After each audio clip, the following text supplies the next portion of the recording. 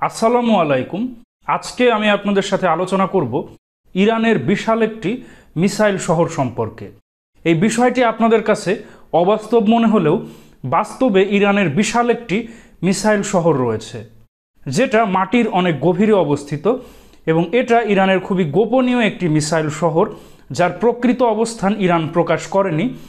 Iran তাদের শত্রুপক্ষকে, তাদের missile শক্তি প্রদর্শন এবং শত্রুপক্ষকে সতর্ক করার জন্য এমন একটি মিসাইল শহর প্রকাশ করে। ইরানের দাবি, ইরানে এরকম অসংখ্য আন্ডারগ্রাউন্ড মিসাইল শহর রয়েছে। তাদের মধ্যে একটি হলো এই বিশেষ মিসাইল শহর।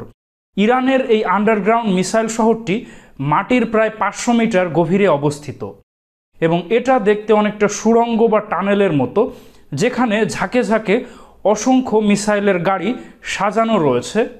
ইরানের এই মিসাইল শহরে বিশেষ একটি কক্ষ রয়েছে, যেখান থেকে সরাসরি মিসাইল ফায়ার করা যায়। এখানে দুই ধরনের ফায়ারিং সিস্টেম রয়েছে।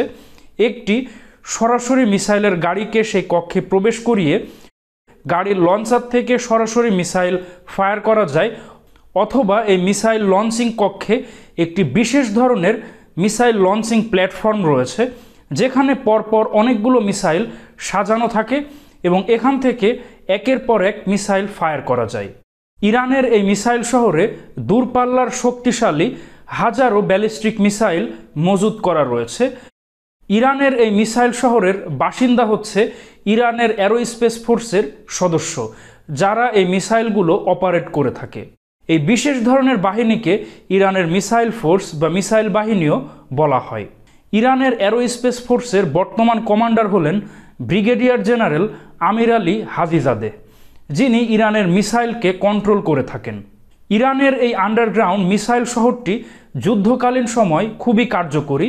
সমগ্র দেশে বিমান হামলায় ধ্বংস হলেও এই আন্ডারগ্রাউন্ড মিসাইল শহরটির কোনো ক্ষতি হবে না এবং ইরানের দাবি, নিউক্লিয়ার হামলা হলেও এই মিসাইল শহরটির কোনো ক্ষতি হবে না, বরং যুদ্ধকালীন সময়ে এই মিসাইল শহর থেকে একের পর এক মিসাইল ফায়ার করে শত্রুপক্ষের লক্ষ্যবস্তুতে নিখুঁতভাবে আঘাত করা যাবে। ইরানের অ্যারোস্পেস ফোর্সের দাবি, ইরানের মাটির তলদেশে এরকম অসংখ্য মিসাইল শহর রয়েছে, যেটা প্রকাশ করা হয়েছে। এটা অসংখ্য মিসাইল শহরের মধ্যে একটি।